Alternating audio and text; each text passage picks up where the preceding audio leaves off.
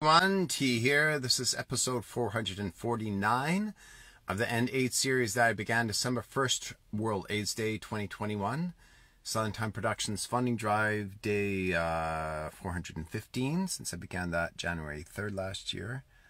And it is um, it is February 22nd, 2023 today.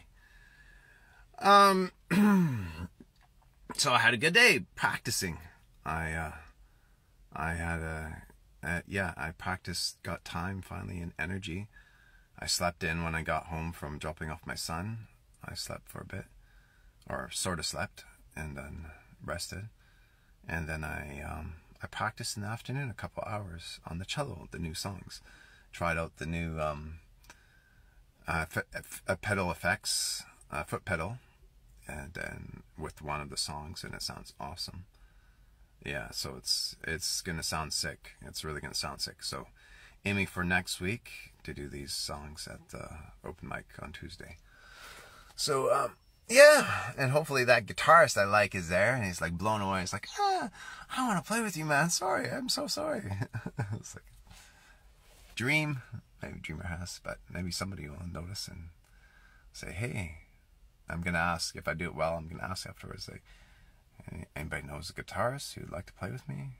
Because uh, the one song, the one with the foot pedal, Orange, I can't finish it on the cello without a band. I can only play so much, or else it sounds doesn't sound good.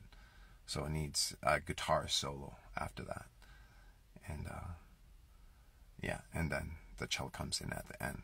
But I can't just go from that one spot they're supposed to be instrumental, but something other than the cello, because the cello already did two instrumentals, and the third time is just redundant.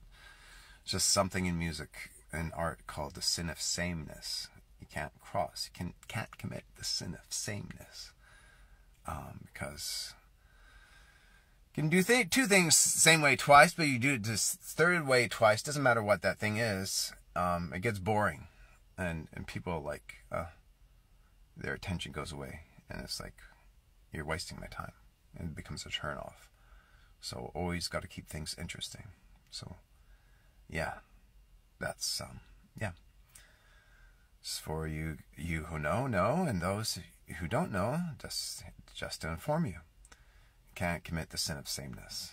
And so if you want to spice up your relationships and let your life make sure you're not committing the sin of sameness because that's maybe why they're dull because you you keep on doing the same thing over and over again. It's not working, so change it up. It's like duh. Anyways, guys, hope you're doing well, and um, yeah, um, yeah, our world, our world. Wow, wow, the veil is lifted. Right? We see how corrupt our world is.